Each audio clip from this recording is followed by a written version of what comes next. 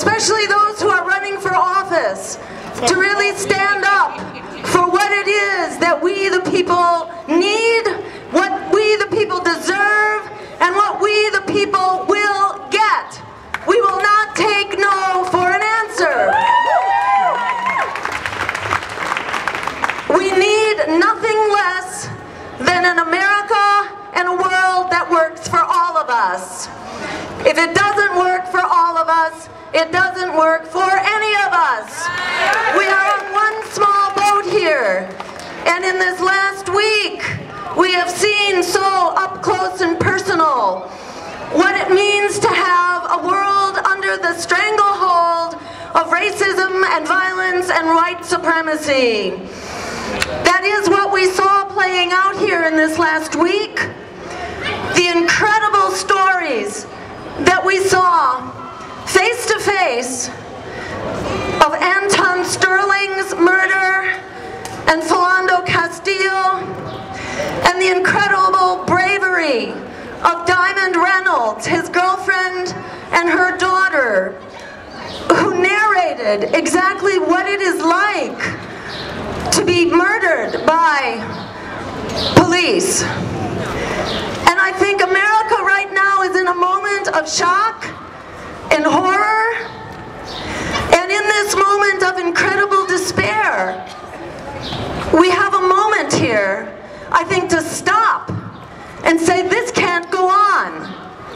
Because it was not only them, it was the long line that Rosa named some of those names. Everyone from Freddie Gray and Michael Brown and Tamir Rice and Ramarley Graham and Eric Garner and Walter Scott.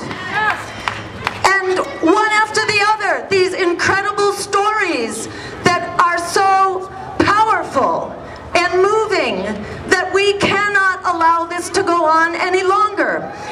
And what we saw in Dallas is that there is blowback from the violence of racism that will engulf us all. No one is safe. While black lives are endangered, everyone is endangered. We must ensure black lives matter.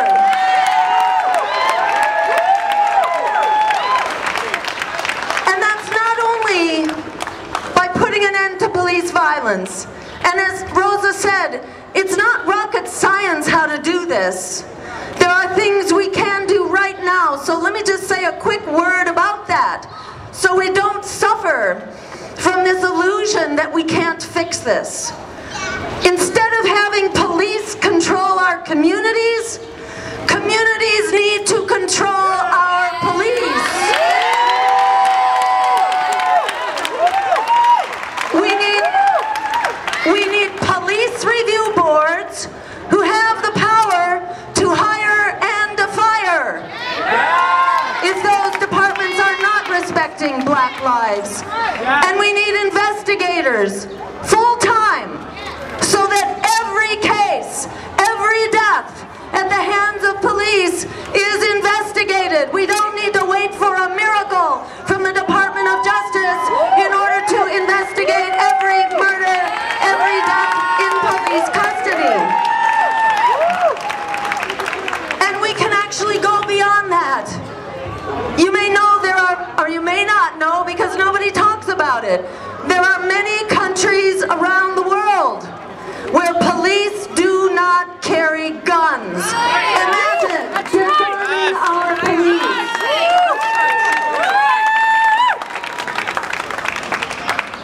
We need gun control because so many people are victims of that crossfire.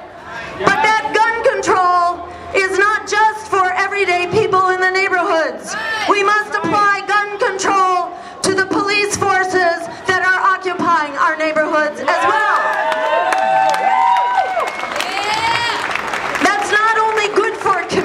communities.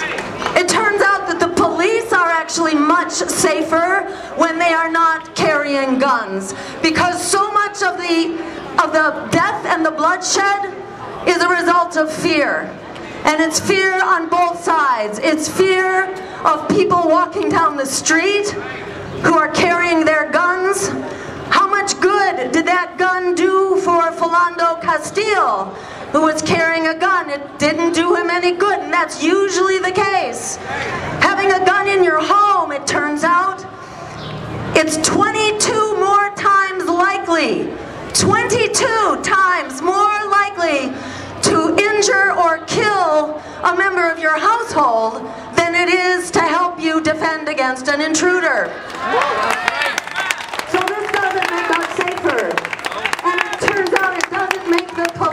Safer either to be carrying guns. And we know this from many studies. Many countries in the United Kingdom, for example, even after the big terrorist events they had a couple years ago, they are not carrying guns and they do not want to carry guns because they know it makes them a target. In the country of Australia, police got rid of guns in some of their districts, not all of their districts, and it turns out where they got rid of the guns, there is far less violence and the police are also safer and people are safer. We can not only demilitarize our police, we need to address the fundamental problem of racism in our society for once and for all. So that Black Lives Matter not only to be protected from police violence, but to be protected from economic violence and from the school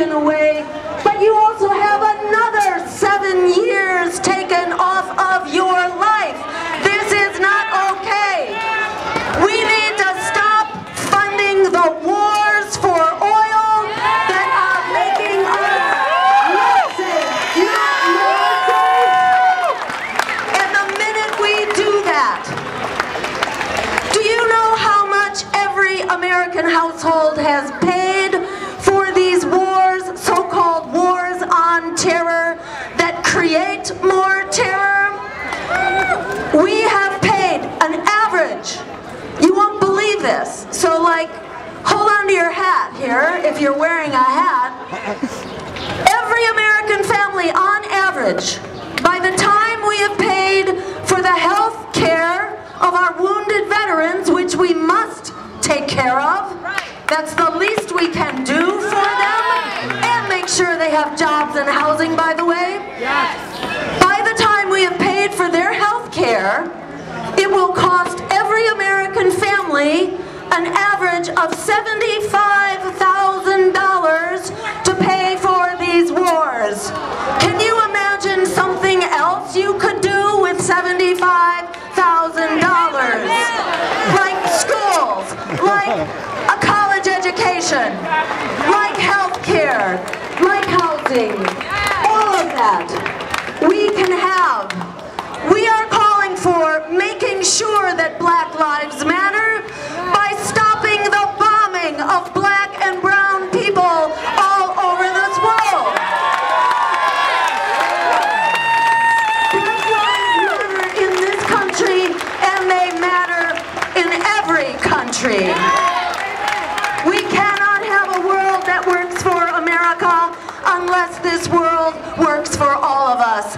And I just want to assure you that what you are doing is absolutely critical, absolutely inspired, absolutely visionary. I want to especially give a shout out for the people who organized this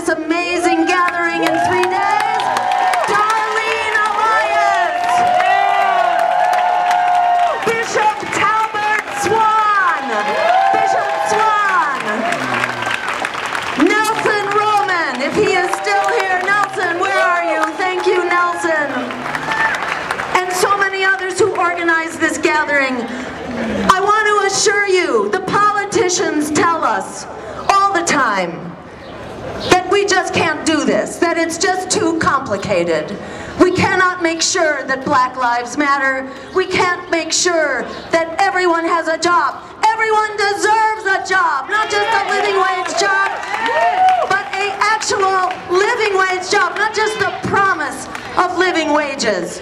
Everyone deserves not just living wages, but a job with living wages.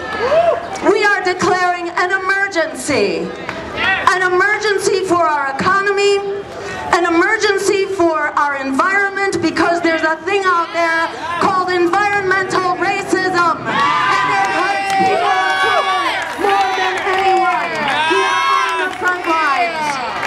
And we deserve health care as a human right for everyone.